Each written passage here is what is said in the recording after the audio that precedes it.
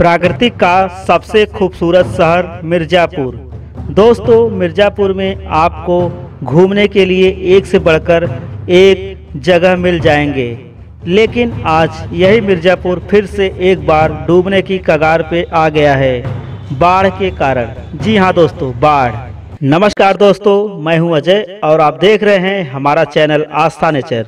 आज के इस वीडियो में हम आपको दिखाने जा रहे हैं डूबता हुआ मिर्जापुर का शास्त्री पुल और ओझला पुल और चल रहे लगातार माँ विंध्यवासिनी मंदिर का निर्माण कार्य। तो बने रहिए हमारे इस वीडियो में और देखते रहिए हमारा चैनल आस्था नेचर। तो दोस्तों, आइए अब हम आपको लेकर चलते हैं शास्त्री पुल के पास और दिखाते हैं कुछ बाढ़ के नज़ारे। दोस्तों, आप जो यह पुल देख रहे हैं, यह है मिर्जापुर का शास्त्री पुल। और यह शास्त्री पुल मिर्जापुर जाने का मुख्य प्रवेश द्वार भी है। दोस्तों, मिर्ज़ापुर में गंगा नदी में उफान आने का कारण यमुना नदी का है। इस गंगा नदी में यमुना जी का पानी इस टाइम छोड़ दिया गया है, जिसके कारण मिर्ज़ापुर में चारों तरफ़ पानी ही पानी आपको देखने को मिलेगा। आइए चलते हैं, कुछ आगे पॉइंट देखते हैं और बताते हैं कुछ और बारीकी बातें।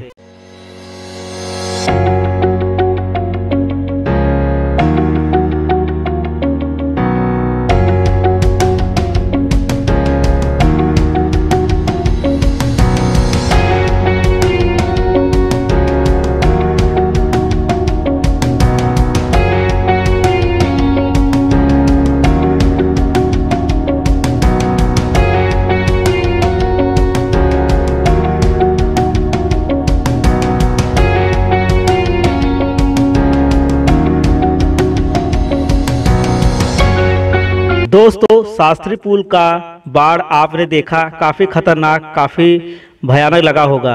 अब हम आपको लेकर चलते हैं ऐसे ही मिर्जापुर के दूसरे पुल के पास, जिसे ओझला पुल के नाम से जाना जाता है। ओझला पुल विंध्याचल जाने का मुख्य प्रवेश द्वार भी कहलाता है।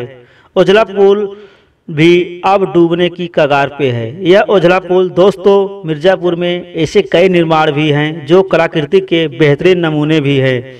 इसी में से एक यह उजला पुल भी है। यह पुल विंध्याचल व मिर्जापुर को जोड़ता है। यह उजला पुल दोस्तों एक दिन की रुई की कमाई से 300 वर्ष पहले इस पुल को बनाया गया था।